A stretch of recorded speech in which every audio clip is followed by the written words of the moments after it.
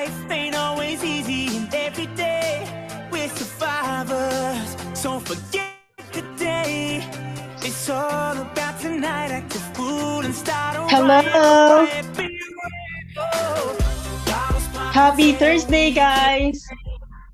Welcome to our Highland Park Live Interactive webinar. I'm so happy to see you. Thank you again for showing up. I know a lot of you are excited about part two of this Z- series. Again, my name is Lizelle. I'm the customer service and sales manager here at Highland Park Lapidary. I wanted to officially welcome you. We appreciate you for always taking the time to be with us 7 p.m. every Thursday on this call. And I wanted to welcome as well all our customers and followers that are streaming with us live, both on our Facebook and YouTube channel. Thank you for always tuning in. And we wanted to welcome and acknowledge our guests from the William Holland School of Lapidary Arts. We have Christine Robertson, the executive director. Uh, we have Bill Boggs, one of the instructor, and uh, the rest of the teachers and students as well. Thank you so much. I saw a lot of faces tonight. So if you are brand new to this call, if if this is your first or second time, there is a chat icon at the bottom part of your Zoom. Please type new on the chat. We wanted to say hello and welcome you.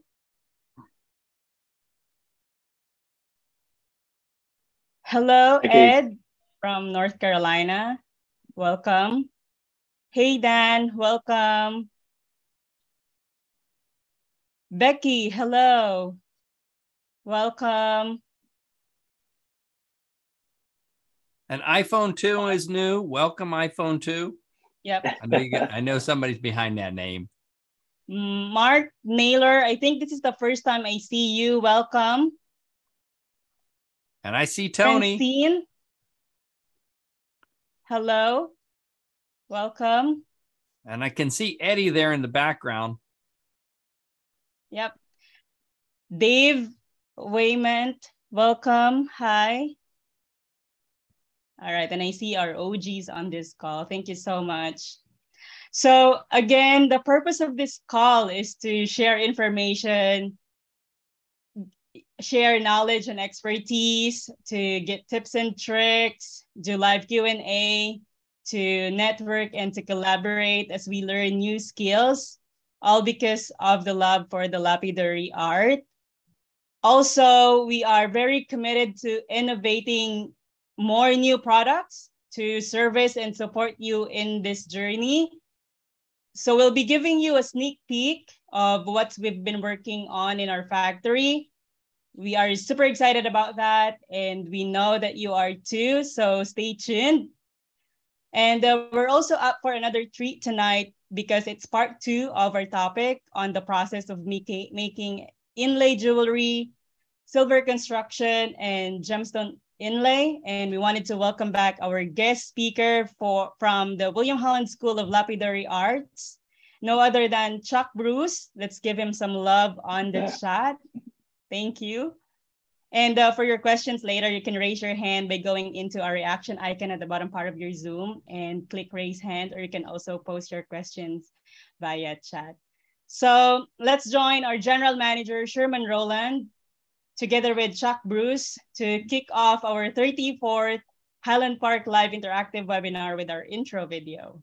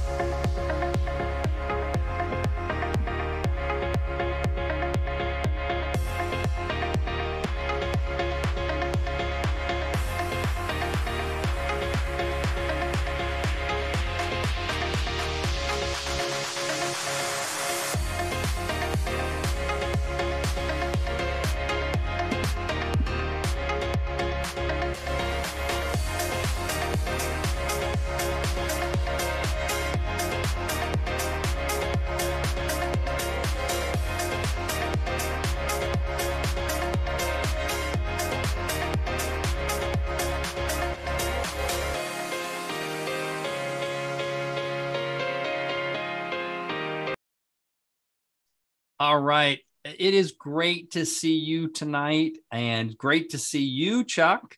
Um, I, I have to say, as I was going through the, the content, so there's going to be a part three because Chuck has got so much content for us to cover through with there, we have 70 minutes or more than 70 minutes of video to go through what he's done because he's giving you step by step real distinct um, um, uh, uh, interpret you know skills of how do you actually do this work.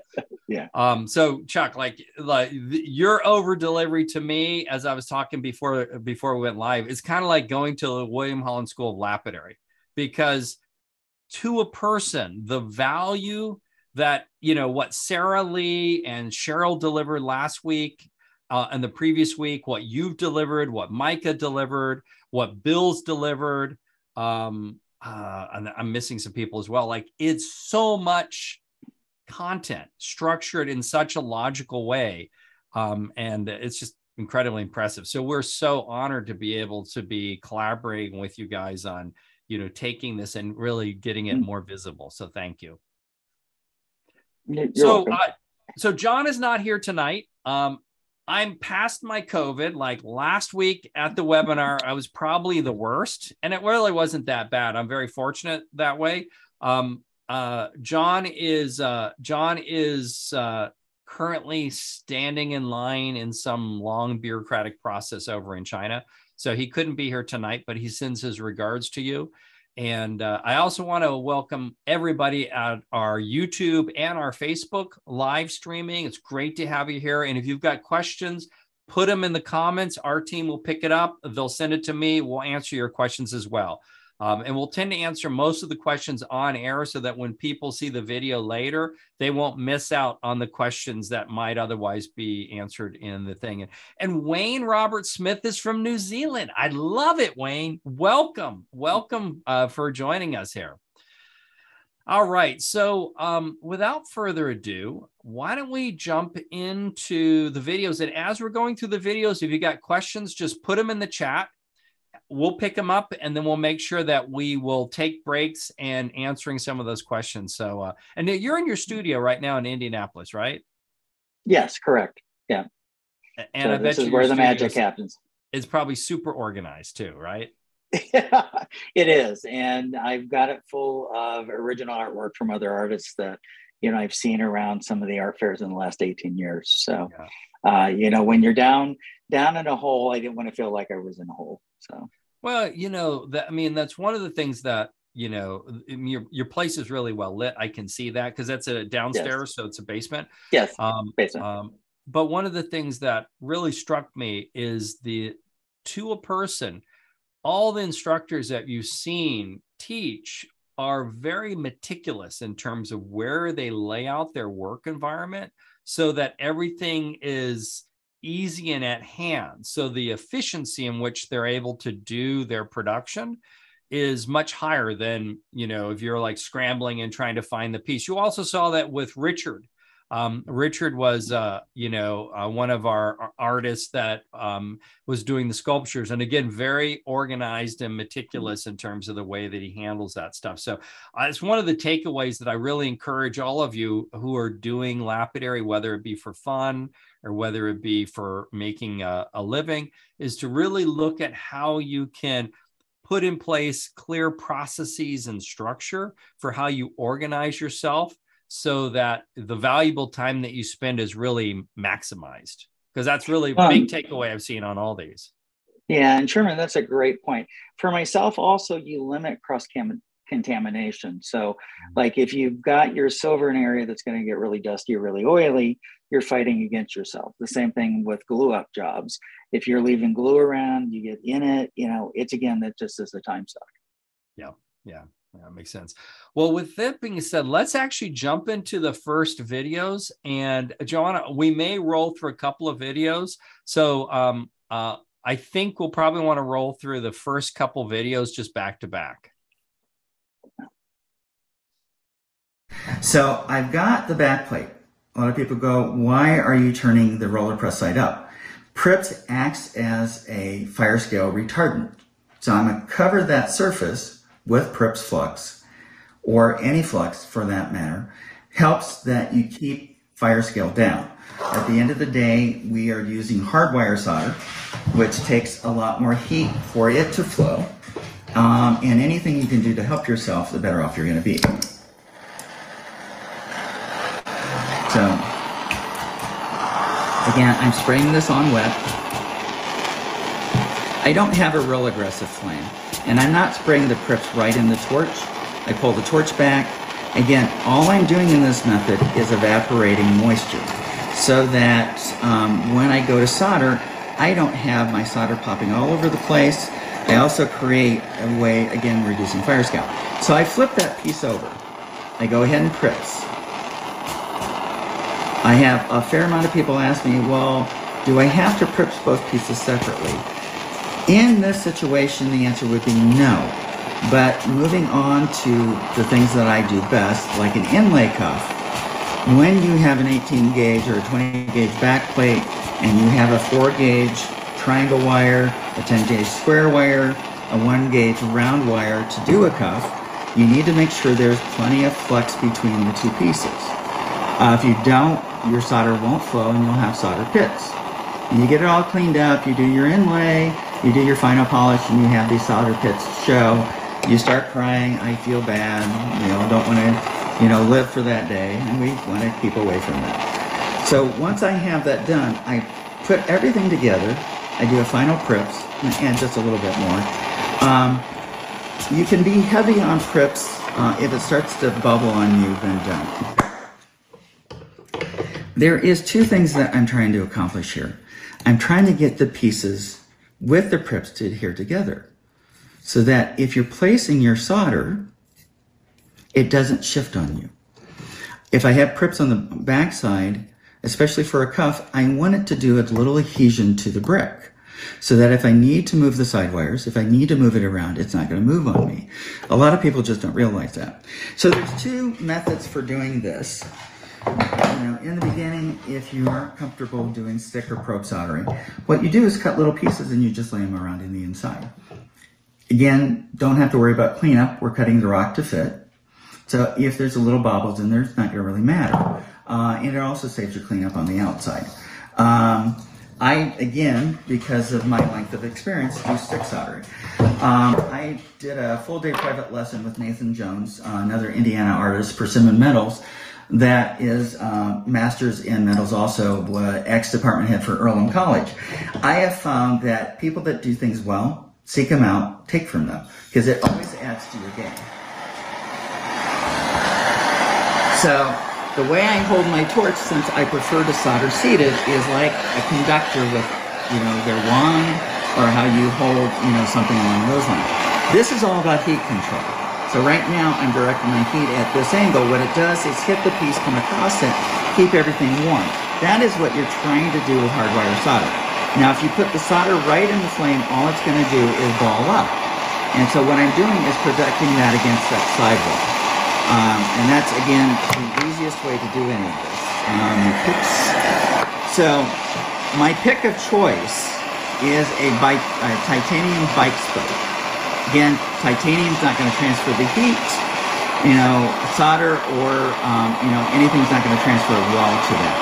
So right now, I get things up to temp. I'm moving my solder inside against that back wall. I'm coming in at an angle. I look for the solder to start flowing, and then I just follow it around, nice and easy. If things get too hot, just pop up. Metal's going to instantly cool. Uh, Jim Richardson, another teacher here, um, is another friend, does um, boxes. Same methodology. Um, one of the things that I want to point out with this is this bezel wire could be, you know, 10 gauge square wire, could be triangle wire. Um, all you're doing, and it can be bigger, you're changing that envelope. But what we've got is a void, a channel to go ahead and inlay stone. Now, this is probably stuck to the brick. This isn't. One of the tricks I learned, which I love because it made my life easier, is taking a Chinese soup spoon and then putting a little water on this. It will help release your item from the brick. I don't know if you're like me in the beginning. I had a lot of stuff st- stuck to the brick. I had a lot of transfer on the back. And what it does is let that release cleanly. That stuff just pulls off. Um, I like a Chinese soup spoon because it sits up. I can grab the handle really effectively. Uh, what it does do is break your brick, break down your brick a little quicker. Again, not a big thing with me uh, because bricks can be sanded back. I go ahead and put that in the pickle. Again, in my work area, I have a separate soldering station, but move things out of your way to give yourself area to work. Um, we have two things to do before we do the back hanger. Uh, and I'll talk about design on that a little bit. Uh, I'm gonna let this pickle for a second. Um, what we're gonna do now is saw off that back plate. Um, Michael David Sturlin, uh, I took from. Um, the man intimidates me. Um, and I'm glad I took from him. I don't know uh, if I would have learned this otherwise. Um, so, Michael, uh, what he does, again, my pickle's hot. I've got just a little bit of discoloration. I'll put it back in later on. Um, he does everything by hand sawing. Well, I'm a person that I'm a tool junkie. If you can have a tool do it, like a sander or something like that, a guillotine, sure. I don't do that. Um, but there is where you have somebody that hand saws all of their work, grab them and learn from them. So one of the things, again, isolating motion that he does is do a scribe, make a mark for that saw blade to follow.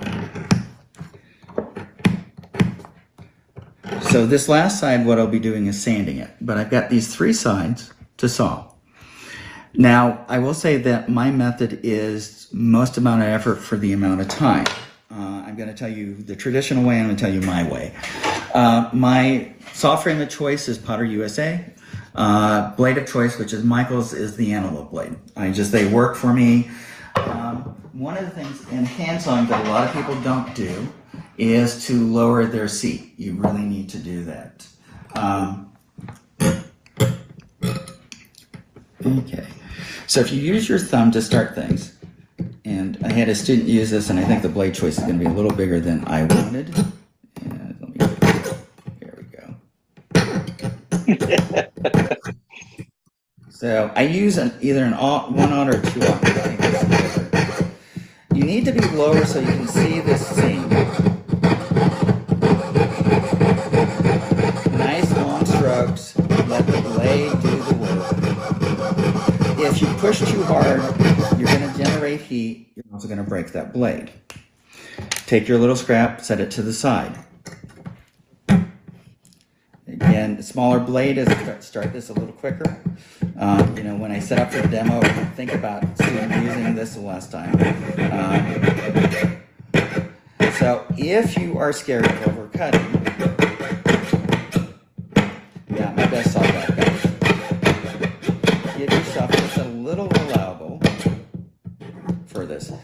what I'm going to try to do is break this off. Uh, I'll change my blade later on. So this last side I could saw, but where silver pricing is right now, I'm going to do my other method that is preferred. Um, I have a one inch sander behind me. That is again my method of choice of bringing all of these sides in. I again, any like stone cutting or anything else, give yourself better control. Bring your elbows in, your hands. It's all about this action. What you're doing is creating a tripod of power. Um, Sander's going to be a little loud, and so what I'm doing is just cutting on that back foot, and I'm bringing it down to where you're almost on that sidewalk.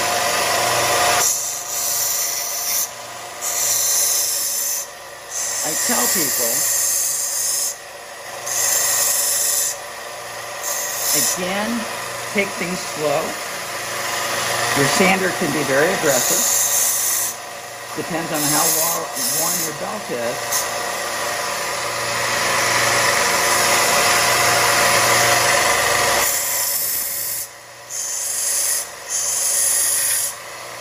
But for myself, this works very effectively. I use the sander just like I do a stone cutting machine.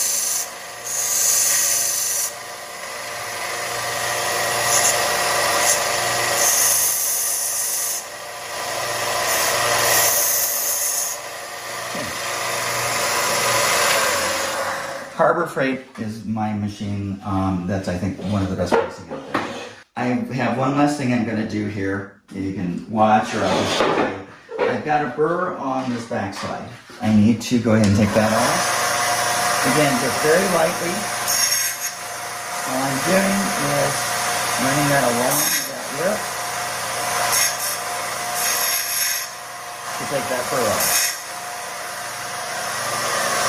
This belt is a little aggressive, um, not a big deal. Just again, anytime you're using something that is in motion, be aware of safety and be aware of what it is going to do for you from a uh, uh, the amount of uh, um, how aggressive it is. Because it's really easy in some of these situations to not take your time. Um, we get under the thing, oh, is I got to get this done, I got to get this done. Um, whatever. So traditional method on this would be hand sawing and filing. If that is your method of choice, use it. Um, I hate hand filing. I, I, can do it. I do it well. I found good files work. Um, my files of choice are Grobet. Um, I learned from Georgia Meyer, Jackson Hole, Wyoming artist, um, and uh, I learned her methodology for doing the cleanup. 3M has what's called a uh, unitized wheel. Um, I love absolutely love this wheel. It's very effective on silver, copper, brass, um, gold. Gold, you'd want to keep your shavings. Um, so a lot of because of the cost of materials, you want to keep that. Um, what I have found that it's a beautiful tool or cleanup wheel is for steel. Uh, keep your ferrous, you know, your steel and your non-ferrous separate. So if you're using one for silver, do one for silver. You're going to do one for copper, do one for copper. Um, I'm going to go ahead and use a new wheel just to show you guys. Um, these are, because the wheel hole is a little bigger an eighth of an inch. I found that it actually didn't do well for that. So I had to do a cutoff mandrel. You can find those on Amazon. You can also find them on um, eBay. Um, this hole, you need to do just a little bigger to be able to get this in. So all I do is a pair of shears. You just make it just a tiny bit bigger. Get this screw down. And the reason I'm showing this, a lot of people do not know how to do this. So in the beginning, I used to have these assembled for my students. I stopped doing that because when you leave my class, you should know how to use your equipment. Again, I hand tighten this, and then if you do just a tiny bit of power, what you can do is get this to hand tighten a little bit more. So I've got it pretty well right at the moment I had people ask if you could put on your hanger before doing this, and my thing is no, because you need to know where you're at. Um, so again, 3M, this.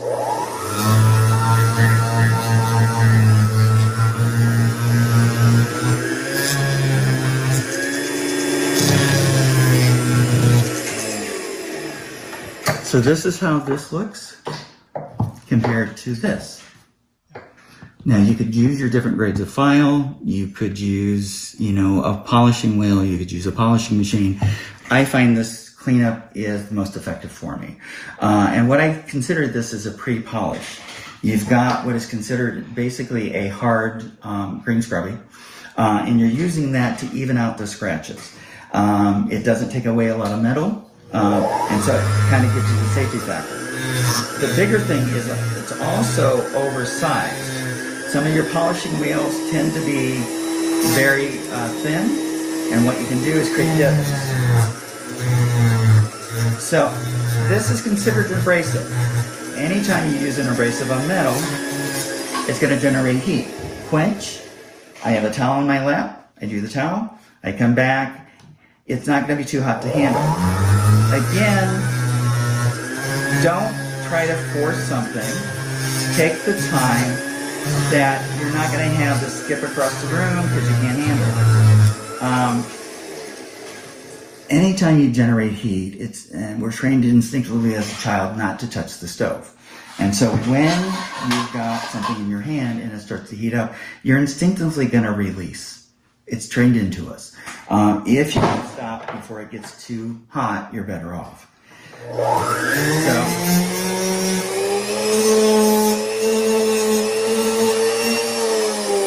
so all my sides are cleaned up. You saw how much time it took me to do this. And again, in my world, time is money. Um, I just, I have so much in life. I have a very full life, which I'm fortunate. Um, but how do I make things a little easier for my process? My solder seam, I still have a little surface solder. And so this is a beautiful tool to go ahead and clean that up. Again, light hand.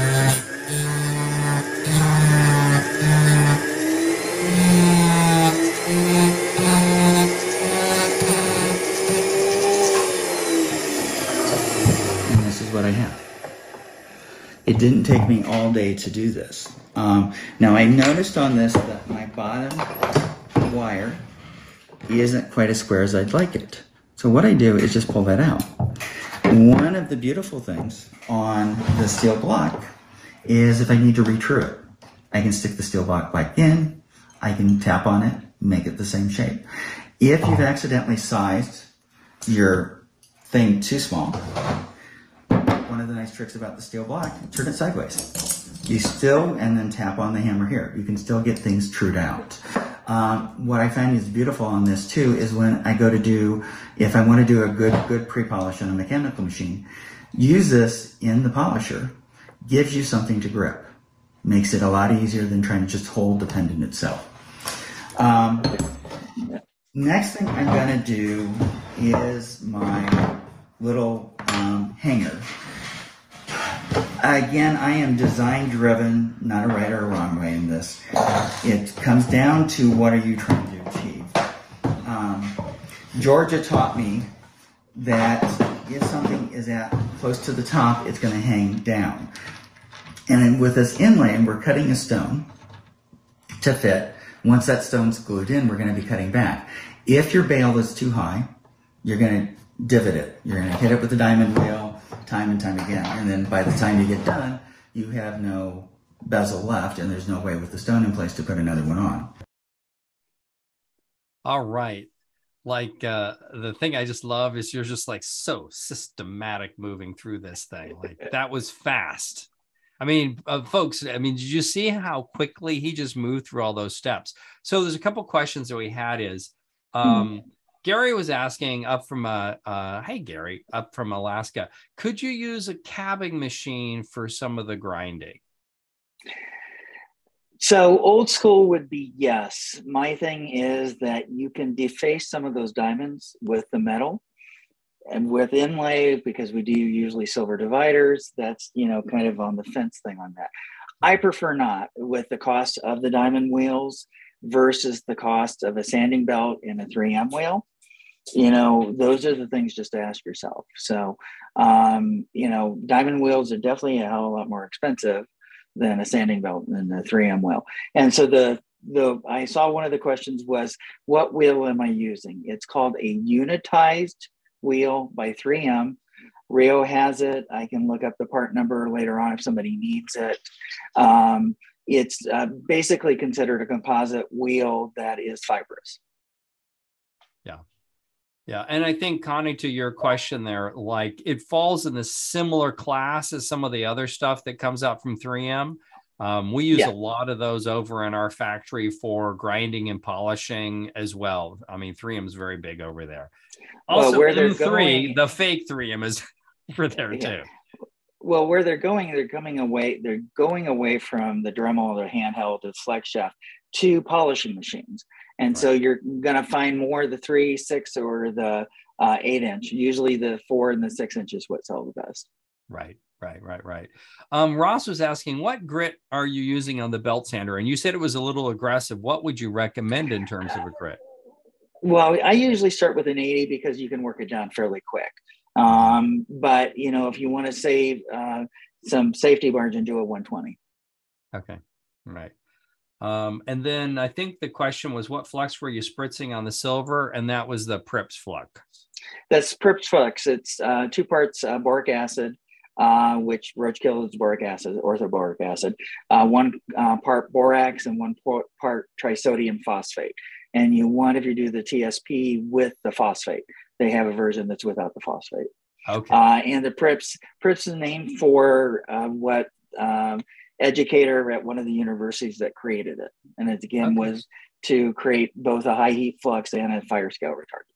One of the things I really liked is you're working both sides so it doesn't, you know, you don't have it sticking to the brick because that's one of the things right. I've encountered that I never had anybody show me that. So you're always struggling a little bit. Um, so, and, and then also the distinction you made about using the flux to hold the piece so that when your mm-hmm. silver solder stuff isn't moving around, I think those both were were really great, like little nuggets that I'm like, oh yeah, that'll save you time.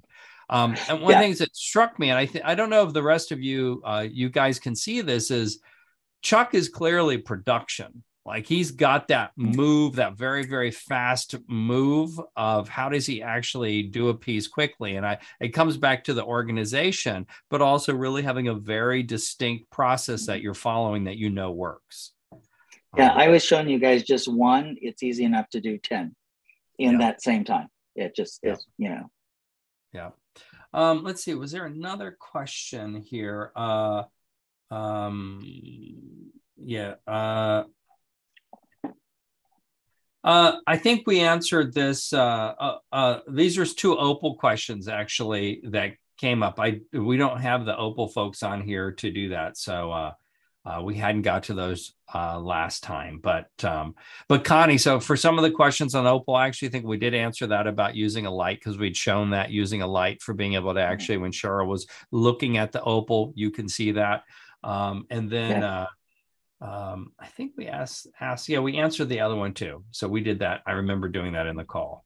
So yeah. all right, let's go to the let's roll the next video, Joanna. Just do one. In this, what I'll be doing is use the green scrubbing on the backside where my bail is going to connect. It's not a huge area, uh, but all I want to do is try to get again that area some teeth. The bail itself, I'll be taking again the coarse sandpaper, wet dry sandpaper, back and forth. Nice little drag, tiny bit hard to hold sometimes, but it's doable. So what I'm trying to do is make it where this seats against this, that it's absolutely flat. Good joint, good clean joint, you know, all of that. Now, this guy is a little like a ski slope um, or like a high heel shoe. I prefer the top to have a little bit more roundness. So again, I can just go in, I can manipulate this to be a little bit more like this. But if I do that, I've changed that plane on the bottom side for the connection area. You just go back and resand. If your double half round or any half round or sheet metal is too long, you just take the shears and cut it back. And again, I put it in place. And for me, that'll come up to the top. This is just a placement so you guys can get a visual of it. Um, is what I like. It has a little bit more curvature we as individuals, humans, are always in motion. So I design my jewelry in that uh, arena. Secondly, with this pendant, most people fidget with their jewelry. And so what happens with that textural back, a soft and curved sides, it is very attractive for people to wear. Um, a huge compliment to me is that people um, want to buy my work and then use it as part of their daily lives. That's a gift for all of us. Um, and uh, some people do not always appreciate what they come to the table. Uh, I learned early on to take my ego out of the process. Whatever creative force is working through me is working through me. I have one example of my very first gold project, um, double foxtail bracelet. Husband and wife picked up the bracelet. Um, she cried, said they'd see me every year. I didn't see him, didn't think anything about it. I saw her six years after that at one of the local art fairs with her mom and her brother, and she came up and she said, "You won't know how much this bracelet means to me." She goes, "I'm gonna treasure this the rest of my life." And hey, I'm glad you're happy with it and all that. She goes, "No, you don't understand. I'm gonna treasure this the rest of my life." My husband's home dying of a brain tumor. He's with hospice. You gave me a gift of us together that has meaning for me. I learned to take myself out of my work and know the value of, you know, whatever somebody finds their personal meaning is to allow that to happen. Be, be proud that I'm part of that process. The only reason I share it, I think it's a beautiful story. Um, but it made me humble. And at the end of the day, I am just part of the act, part of the process. That was really, really, that's really good. When I watched this originally, I'm like, the the thing that I really appreciate about the way that you look at the work you're doing, Chuck, in that whole distinction about not being around you, but around having the art really, the piece really connect. And you said something about also having that ideas flow through you. Um, right. That I think that's a real powerful way to look because I think sometimes in the creative process we get in our way. And oh uh, yeah. so can you talk a little bit about that because this is really such an important distinction you cover there, and I want I want everybody who's watching this to really understand a, an, a little bit of an more of an essence of what you're talking about because that's that was a really really powerful thing you just said there for myself, and I've seen it time and time again, I want to beat myself up for what I'm not mm-hmm. instead of what I have achieved. And, you know, I, uh, you have to have a certain craft level and you have to have a critical eye. But at the end of the day, if something starts to go sideways, I just now go with it because maybe that's what my higher power wanted to happen. Um, I really find it uh, funny in a lot of ways that pieces that people have made they really dog. And then a complete stranger sees it and says, Oh God, that's beautiful. There is a mind shift, not to put again your ego or what you think of it on it. Um, and at the end of the day, if you're not happy with it, there's always somebody that's having either a shittier day or a shittier life that you can give them and it will make a difference in their lives. I had another situation happen that I used to do little uh, silver broom, broom straw castings and, you know, scrap silver you're doing down broom straw. Had a lady that was interested and I usually have something that's not marked, that's not very big. And uh, she goes, how much? And I said, it's yours. And as I, she was walking away, I told her to wear it in good health. And I got an email later on that she was a breast cancer survivor her doctor wouldn't let her come to the show the year before and how much that small gesture meant. I mean, we all have those needs or those moments. We all right. do. Right. So, you know, I try to keep a high craft, but there are days things go sideways for me too. Right. So, um, and it's again, that's I think one of the roles as an educator, especially in the room when this is all happening, is to be that cheerleader saying, Yes, you can you know let's eliminate a little bit of the self-doubt. Let's do this with some love and some laughter and you know actually have fun with it. So right. i will well, say doing a yeah go ahead. No no you go finish. I you know doing inlay work can be challenged. Doing a full inlay cuff is pushing the elements sometimes pushing the limits. But at the end of the day when somebody cuts it all back you know there's usually a smile. I've actually had several students cry on me saying that I've made them an artist. And it's not me, it's them doing the work. Hmm. Well, I think the one, the one message that you talk about is people not losing their confidence when you have that that piece mm-hmm. that doesn't yeah. turn out. You know, not having that challenge lower your confidence and the bigger picture right. of what you're really pursuing because you're going to have exactly. pieces that well that don't work out and being able to have grace with yourself around okay uh, that didn't work the way that i want it where can i learn from that and move on without beating yourself up? Right so, failure is part of the process. It, it's yep. for all of us. Yeah. Yeah yeah all right let's roll to the let's roll to the let's see i'm looking at she's giving me a time update. Okay let's roll to the next uh, video joanna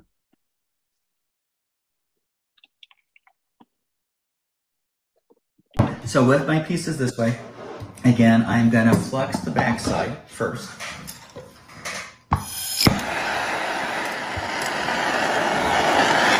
What I'm going to do is go ahead and get everything fluxed. I turn that over. Try not to drop it down into bricks. Make sure you know where your lettering or your maker's mark or the sterling mark is. I go ahead and reflex the front. You could do the front first. Um, I find if I got the back covered, I don't tend to forget it. Um, but I usually do the front, and it's just at the end of the day, trying to again talk and chew gum at the same time is a little hard, or walk and chew gum, or whatever the saying is.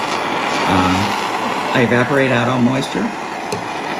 The double half round bail, I went ahead and prips the underside. I prips the top side with this because I'm trying to talk. Um, I also take time to then place it well. Um,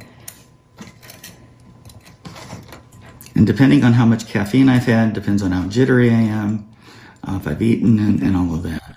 Again, I had uh, early on a uh, well-known uh, local um, goldsmith say that, you know, you're using fine motor skills. Allow yourself what you need to do the work, which is rest, you know, getting up from the bench, uh, eating, you know, feed the body because of that. So in this, once this cools enough, I can also do it by hand. Um, place it in the very center where, you know, the center's at. Um, again, because of us forming this around a pair of round nose pliers, it might be a tiny bit off, but we can always change that if we need to once it's soldered on. Um, this part of the process is essential if you can get it down right. What we're trying to do with the prips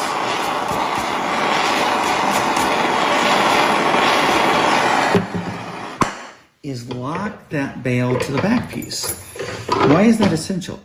Uh, on my really good days when I'm on form, I can just use stick solder and do that. But I'm going to place this, and you want, there's no soldering holding that. That's just flux. So when you go to place your solder, everything doesn't move on you. Uh, and that's the big part of um, what I love about Prips is it made my game easier. Um, you know, there's still frustrating days. I allow myself to be human. Um, I also know if I'm in bad mood not to go in the studio because I'm just going to screw things up. Um, but, you know, if I can make your life a little easier, it helps me at the end of the day. So with my solder tweezers, really fine tweezers, I can pick up the solder and I can place that right on that inside joint. What I try to do is get it positioned. Um, I'm not completely anal retentive on this. You're talking the back side of the piece. You're talking that, you know, at the end of the day, this is handcrafted. If there's a tiny bit of solder next to that texture is not a huge thing. Again, um, we a lot, a lot of us like to beat ourselves up for what we think we're not instead of giving ourselves credit for what we're attempting. Uh, more flame. Because there's no moisture, the solder's not going to pop out of place. So that double half round, you want to stay off of. What I'm doing is heating that base part. The base has the most mass of metal. That top piece will just melt if you get on it. So you see I'm coming in, I get thinking things are too hot, I pull out uh, or up. Uh, what I'm doing is hitting on the brick. You saw how that double half round heated up. I, you know, the tension got pulled just a little bit when I was talking. Um, so now I'm heating up that base piece to get it to flow, flowed, and make sure that front edge, which doesn't look like it's flowed, and it just flowed.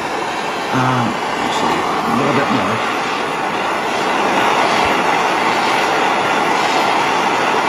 So what's nice about hardwire solder, you can reflow it, um, almost any solder. Uh, fallacy is you have to start with hard, medium, easy, super easy. Um, when you do initial soldering, which with other metal uh, solder you're doing, whether metal content, um, you burn out organic materials in that. And so it becomes, instead of hard, extra hard. So you can use hard for sequential soldering. Now, if you've got something really intricate, yeah, step it down. So I'm soldered. Go ahead and quench it. Um, do not quench things too early. Um, and then another thing, because this is in a full annealed state, don't let it just drop into either your quench pot or your pickle pot. You have a really easy chance of deforming it. A lot of people just don't realize that. Pickle. Um, uh, Joanna, why don't you run that next video? Because that ties kind of into this one. cleaned up. before I would do this taping process, this would go into a tumbler.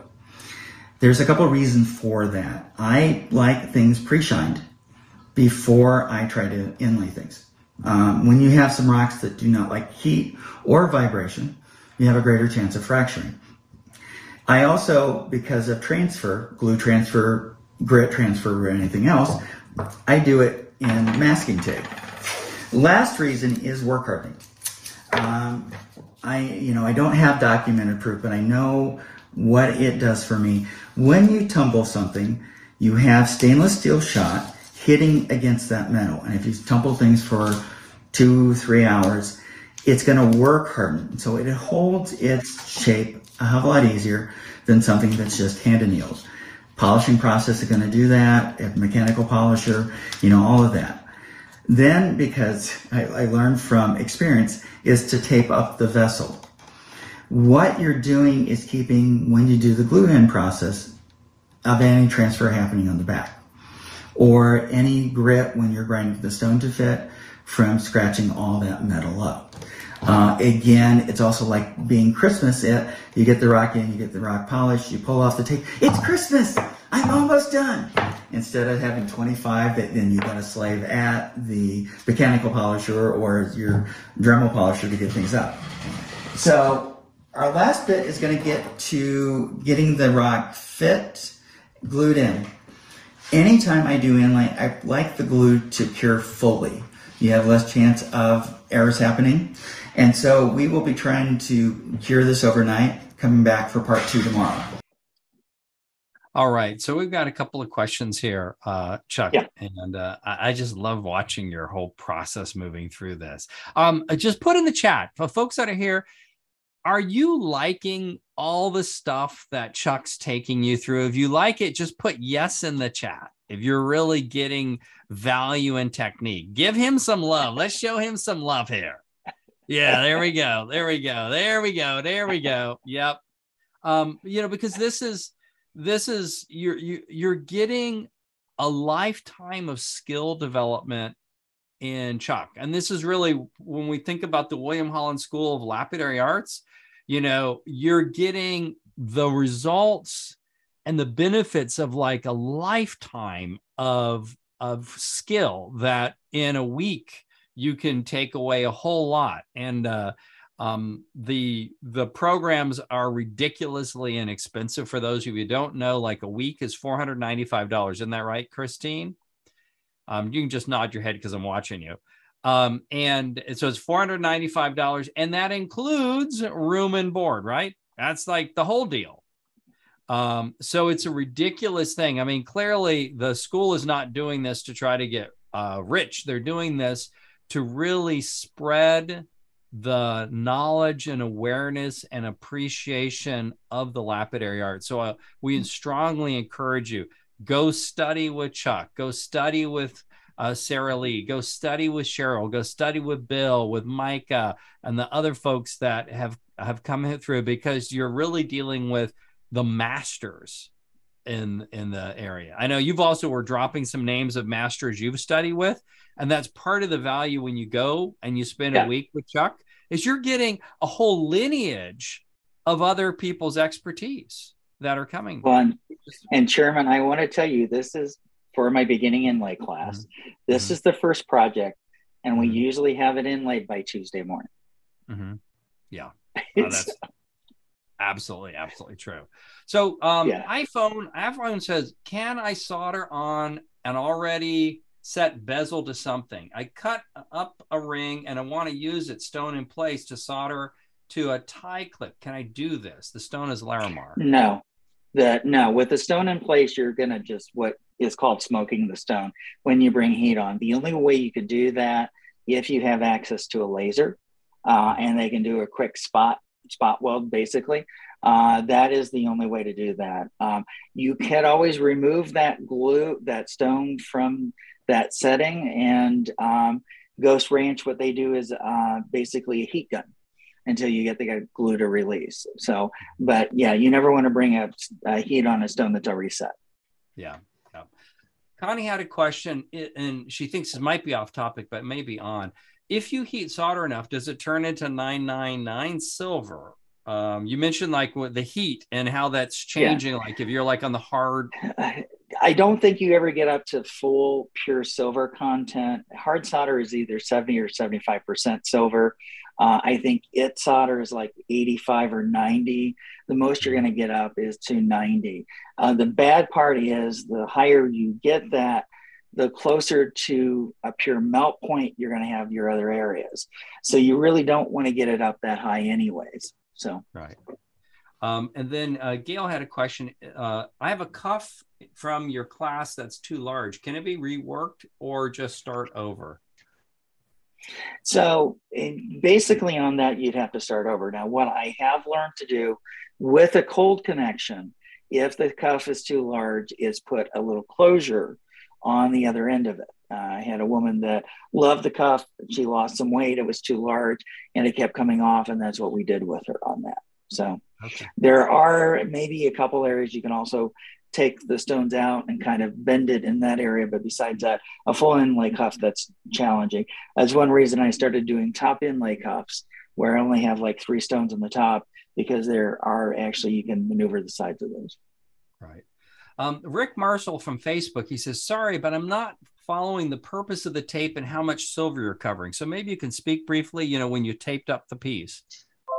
Oh, so basically all you're doing is covering up the sides and creating a tab with that. I keep the tape down probably a 16th or an eighth of an inch so I can actually see where I'm inlaying to. The bigger thing, you don't have to. Uh, but for myself, I find that when you've got too much glue, trying to get that off of the silver, get it with your fingers being sticky, getting it off of the back plate, it just makes life a hell of a lot easier. So yeah. Okay, so it's kind of like when you're taping away from painting in a house, in particular. Exactly. I'm doing trim. Exactly. I don't want to get that exactly. shiny paint on. Okay, yeah, yeah, yeah. Exactly. Yeah. Uh, and then uh, Wayne Robert Smith on Facebook says, "Do you use oxyacetylene? I tried with butane torches, but don't seem to be able to get enough heat." So butane, because of the mass, is going to be challenging. Now, this this project you should be able to. Um, the oxygen acetylene I have found usually come in a little too hot and you melt stuff. Um, so for myself, I have two torch systems. I have the Prestolite or the Goss Feather Flame on a straight acetylene tank and air in that. I do have the uh, Little Smith Gentech is my brand, which is oxygen and acetylene. The bad part is they don't do enough dispersion from a flame. Now I have a, I think a Firebud tip that I have not tried it since I have the other system. It just makes it easier. Okay, good. Uh, iPhone t- two. Um, uh, enrollment. How do you enroll? Well, we we'll put a link. Once you got a team, put a link in the chat for how um, uh, iPhone two can enroll uh, in the uh, uh, course. And you've got a course coming up in October, right? I think you said you've got two sessions coming they're, up. They're what? both sold out. Oh, they're both, they're sold, both out. sold, out. So get on the I waiting will. list for next year. Well, get I, on the waiting have, list this year because with with the COVID, situation, people are yeah. canceling left. You know what I mean? People are moving around and canceling and because they're sick and have COVID and stuff like that. So yeah. get yeah. on the wait list if you really want to do it. Right, right, now, he's only got one person on one class for the wait list and zero wait listed for the second one. So you have a good yeah. chance. Yeah. Yeah. Get your name on that. Absolutely. Called, and I, I do. and I do have my tentative dates for 2023 on my website and I am on for doing a week uh, co-teaching with Micah Kirby inlay down at the Northeast Society of Florida Goldsmiths. And then I saw two questions. Uh, the question was about propane. I don't like propane as much as a gas of use because you can get fireballs. And I've had one happen to me. And so that steered me to acetylene. Um, acetylene is a little bit of a dirtier flame. And then uh, there was a second question on oh, oh dispersion. dispersion that means that you've got a bigger envelope of flame. So with the air, uh, acetylene, air, oxygen, you get a bigger flame from that, but it's just not as hot. And so when you're dealing with mass from like doing a silver cuff, it's usually an ounce and a half, two ounces of silver, you need a big, basically a bigger flame to be able to envelope that and get it up to melt. So Awesome. This let's actually roll. I think we got one more video, right, Joanna? So, so let's roll this next uh, video, and then uh, and then we'll come back for some more questions. So, in this, we've got our void, we've got our vessel. This is done in a method called intarsia. Um, Bill Box, local teacher here. Um, I absolutely admire the man. I think he's one of the best teachers I've ever known. Uh, and he's just a decent human being. Um, what you do is make sure everything's completely flat and then you can glue it together. Now what happens in the intarsia method, when you go to cut on the stone, the metal does not have any kind of teeth and the glue would like to release, especially water acting on the glue. So realize if you're going to do the intarsia method, it might create some problems. The other method that I traditionally teach students to do is with having pieced work. So this is one little stone. You do a stone at a time. Um, you, what you do is a front angle. Your sides are in an angle. And then where your stone or anything else is going to meet your square. And so what you do is with the tapered angles on the outside, you keep cutting, you keep cutting, you keep cutting until things seat in. So with this, then you try to make sure that everything has very little gaps. This one I can play with just a little bit more. A lot of people assume that silver is soldered in. It is not. It is glued in. So once you've got your first piece, you cut your banding silver uh, and then get that at a little bit of an angle on each side and fit it in. For speed, what I'm going to do is what I already had pre-done. Um, and then in your next few, what you do, if you're going to do a second piece that's not full, what you do is cut this to fit, pull both these out, get your third piece cut in so that you can get everything to come together. Uh, on this piece, I've already got it started from a shaping standpoint. Um, it's not quite there yet. It's close. I've got things at just a little bit of an angle. Um, the nice thing is if you do just a slight taper, you're going to have it sit a little easier. So think if you had square hips and you're trying to pull jeans up. They're not going to come up. But with this having rounded hips or a slight taper, what you can do is get them, and then if you've gained weight, come, come on, come on, you can pull them back up. Same thing with the inlay. If you've got a slight taper and it sits above, what you can do is push that in to get it fully seated, or you can take a little bit more off the sides. Um, and that's just a nice thing on that. Um, we're gonna have a little bit of noise because of the genie. This was cutting really nice, so I'm gonna do the 220 wheel. Depending on your stone, look at which wheel you should. Opals, you would never start with 80 or 220. And you do a little bit of 220 maybe, but mostly 280. Agates, you're really gonna have to start with an 80. So depending on your stone. Wood, this being ebony, is a little on the softer side. So I've got where this is close. I want to go ahead and take a little bit more off this top. Elbows in, hands, and doing this. And it's just a gentle slide down that front. This is called piecework. Piecework is the time uh, suck or the most labor intensive for doing inlay. Take your time on this part because it actually shows. So I'm really close. What I usually start is with the right side. I get that side to fit. A little bit more off of this, a little bit more of a taper. So then I get that top left corner. I, am sorry, I start with the left side, I start with the top left corner. It's going to need to be rounded just a tiny bit because that, that angle is rounded. So I get this. My top is actually fairly good and I'm not going to have a lot to take over here. So just a slight round. Depending on your wheel, you don't stay on it real long experience is a great tool on that. You only do that a couple times and you'll think, my God, what did I do to myself? The top has just a little bit of roundness, so I'm actually doing that ahead of time to get it to fit in. And you can see I still have a little bit of a gap there. What I'll do is refine that a little bit more. To be able to do that. If your taper is too extreme, again, things are not gonna, they're gonna hit on the taper and won't feed into themselves. So good, good. You see, nice and tight, tight, tight, tight. Need to do this edge. So this again is an accelerated version of this step. Uh, it does sometimes take time to do this. Watch you don't do what I just did. A common mistake is I turned it upside down. Uh, your shapes are gonna not always be even, so know where your top is and where your stone, how it fits in. It's easy enough to do a, a mark on top, which you know I do when I'm tired and not cutting real well. Usually I try to keep everything in the same position. So I rotated this upside down so I knew which angle I was at. Take a little bit more off of that edge. What I'm doing is just softening that corner very close. I over softened it, but I've got room to adjust that. Um, gonna go ahead and make that a little rounded. And I'm always kind of keeping it at a small taper, um, just so that I can get it in, I can get it seated.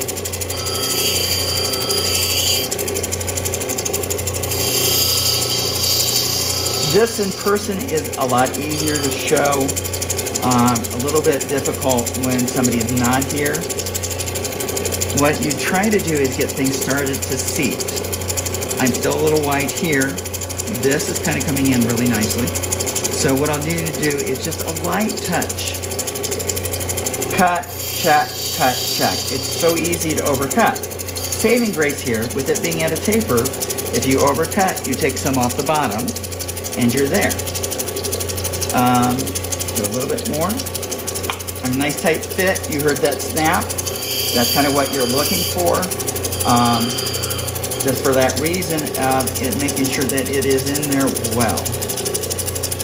Last thing I need to do is soften that corner. I want to get rid of that gap there. And this is where looking at it, it really becomes about angles sometimes. Again, there are some people that are very natural at this. Others, it's a learned behavior. If it is a learned behavior, allow yourself a chance to learn. You know, don't beat yourself up. If you get frustrated, walk away from it. Um, you know, if you have some scrap silver, go mouth it, say die, die, die. Whatever is very cathartic for you. I find, and I'm dating myself, I love listening to Karen Carpenter. She, I just design really well with. She is a depressing, you know, vocalist sometimes, like Rainy Days and Mondays, but it reminds me of happier times in my youth. Um, and so with that, I just do really well. So stop the machine so we don't have a lot of noise. I have just a little bit of area here, but this isn't pushed all the way down yet. So what I'll be doing is pushing this down. I know uh, with the 24 gauge, it will expand out just a little bit. Um, what I like is really tight connections. Uh, the big thing with the inlay, if you've got huge gaps, it's going to show. Um, so we dry this really well, and we're going to do the glue in process. Um, again, this being a demo piece, I try to keep the standards high, but I would do better work in my own studio um, and without trying to talk and do it at the same time. Uh, I still try to aim for high craft. At the end of the day, if I don't think it's worthy, completely worthy of me. All right. So um, the, thank you very much for these whole things. We're going to stop here, and then the next session uh, is going to be happening. You'll see. We'll uh, email out because I think we haven't quite defined the date on when the next session is going to be. Yeah. And this car, you're going to te- text it, but I think we'll need to confirm that. Um, and uh, and we'll of course alert all of you when Chuck will be doing that next session. It could be possibly next week or two weeks. I'm just not sure but we'll you'll be getting that in email. Um, Chuck, thank you so much. Is your attention to really working to deliver value for people is really remarkable. And um, and certainly your work at the school is certainly terrific as well. Um, why don't we put up the piece for the uh, the uh, William Holland School Lapidary so people could, if if you're new, you can shoot the QR code with your camera. Um, and I would encourage you also subscribe to uh, uh, the the school's uh, Facebook page, like the school, follow that. Also Instagram, and uh, and then the YouTube ch- uh, channel is uh, definitely to subscribe to. Um, any of the information you can find about the school is also we put in the links of the chat. And if you found you got value out of this, you like these webinars give us a, a, a Google review, a five star Google review saying, Hey, I love these webinars. It really is the thing that motivates us. Obviously, we're not here selling anything. We're really here with our mission is to expose people and really have people under be aware that there is the lapidary arts whether they want to just buy things whether they're you're a maker whether you're just a hobbyist or whatever you're doing we really really are committed to having people be aware of and really appreciate and participate in this wonderful uh, hobby of ours. So uh, give us a review. Certainly also subscribe to the YouTube channel because then you'll get alerted whenever new videos go up. You'll know, hey, there's a new video that the William Holland School Lapidary did. So if you happen not to be on here, um, uh, you know, that's a great way to be on, on top and certainly uh, um, be looking for uh, announcements for more uh, videos. We have a whole lot of more things coming up. In the link, you'll also see Chuck's website, chuckbrucedesigns.com. Um, and then you can get to know more about him as well. The Anita, the today's video will go up on YouTube. Um, and you'll be able to watch that. I don't know how quick those go up, but probably within a few days that stuff will be up. Is that correct, Mark? Or you can just nod your head? Few days. Yeah so a few days you'll see that. So uh, it's great to have you here. Thank you christine of course and also bill boggs who i've been seeing here the whole time. So it's so great to have you here and i certainly uh, appreciate all that you do there at the school. Uh, everybody have a wonderful evening. Thank you for joining us and we'll look forward to seeing you next thursday at 7 p.m thanks sharon. All right bye-bye